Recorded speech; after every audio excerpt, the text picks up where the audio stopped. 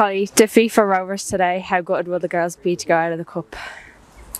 Yeah, I think I think they'll be pretty good.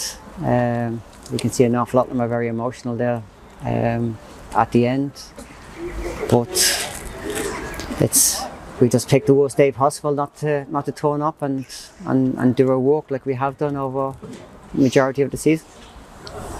Shels' first goal came from a corner early in the second half, and the second after our own mix up at the back.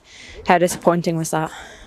Um, yeah, I think, like I, as we said to the to the team for most of this year, it will always come down to us and what we do. And I think even the first goal came from um, we had a free kick at the edge of the box, which we didn't do something that we worked on in, in training. They broke, they got the corner, and then they got the, the second play out of it. Um, and then the, the second goal is just it's it's an individual error that happens. We deal with it. You just um, she's been brilliant this year, so um, it's out of character. It's it's it's a one-off. So it was just just one of those days. Aoife Kelly came close from long distance, and after three good goals last Saturday, could we have tested the goalkeeper more? Yes, we could have. Uh, it's something that we, we said and tried to work on as well of having extra extra shots, particularly from, from outside the box. Um, I think our, our, pace of play and, and, and tempo and urgency and intensity was nowhere near really the standard that we've we've been doing, and I think just the occasion became too big for some of them, and it's it's one of those that it, it's now slipped by, it's done, and we just have to move on, remember it, learn from it, and use it to make yourself better for the next one. Jamie made an difference when she was introduced, and we found a bit of rhythm.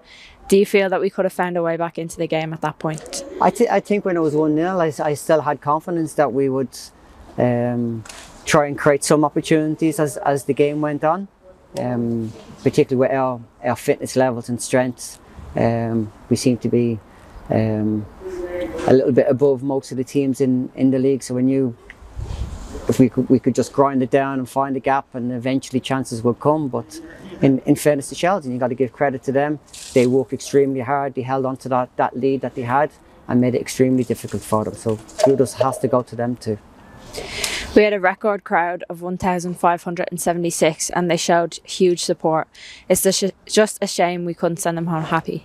It is a shame, and I would like to say a very, very thank you to all of those that came out and and supported. Um, you were very vocal. We could hear hear them, um, and I'm just just sorry, disappointed we couldn't get the result that was um, an awful lot of our hard work uh, deserved. But that's what happens on when you don't turn up on on a particular given day. How well do you think we can bounce back from this to go into our next game away against DLR Waves? It's professional footballers now it's one of those things. You, it's it's the mental strength of it. You you you got to be able to forget about it. The game's gone. We can't relive the game. We can't relive those moments.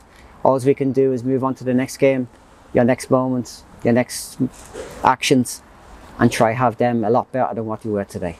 Thanks, Collie. Thank you.